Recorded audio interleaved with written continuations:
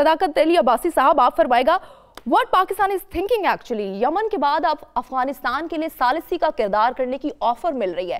پاکستان کیا past experience کو بھول کر آگے بڑھے گا؟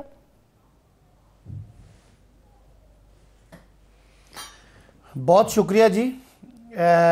پاکستان، افغانستان کے مسئلے میں پاکستان کا ہمیشہ کلیدی رول رہا ہے اور ماضی میں جب بھی اس مسئلے کو حل کرنے کی بات ہوئی ہے تو پاکستان کے بغیر کوئی یہ مسئلہ حسلہ حل ہو ہی نہیں سکتا۔ اس کا سارا، اس کی اگر آپ ریلیجس ٹائز دیکھیں جغرافکلی اس کے جو ٹریڈ روٹس ہیں، اور اس کے علاوہ ہمارے ہاں بہت بڑی تعداد میں افغان جو مہاجرین ہیں، ان کا ٹھہرنا اور ہر مشکل وقت میں پاکستان کا افغانی بھائیوں کے ساتھ کھڑا ہونا، یہ ایک بات تھی۔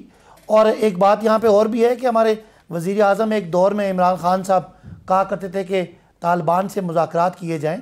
اس وقت جو تھا وہ شاید ہمارے بہت سارے لوگ اس بات کو سمجھتے بھی نہیں تھے اور آج امریکہ جب پاکستان کو ریکویسٹ کر رہا ہے کہ آپ طالبان جی۔ کے ساتھ یا باقی سوری اس کے ساتھ افغانستان میں امن کے لیے ہمارے مذاکرات کروائیں اور ہمیں اپنا پیس پروسیس میں ہماری ہیلپ کریں تو وہ بات بھی سچ ثابت ہوگی اور پائیے یہ انشاءاللہ آنے والے دنوں میں امید کی جا سکتی ہے کہ افغانستان کا مسئلہ گو بہت ہی پیچیدہ ہے، گمبھیر ہے، لیکن اس کے سلوشن کی طرف انشاءاللہ کوئی مثبت قدم، انشاءاللہ جانے کی امید ہے۔